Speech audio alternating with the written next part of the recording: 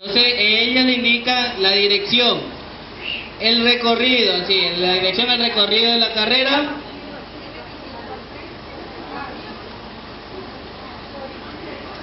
Listo. En cada hay unas mesitas, en cada donde ahí también hay puntos de agua para que usted se hidrate. Con la funda de agua para que usted coja, usted se hidrate, se eche agua, no solamente en la si usted se quiere echar en el cuello, en el cuerpo, se puede echar, no hay ningún problema. ¿Sí?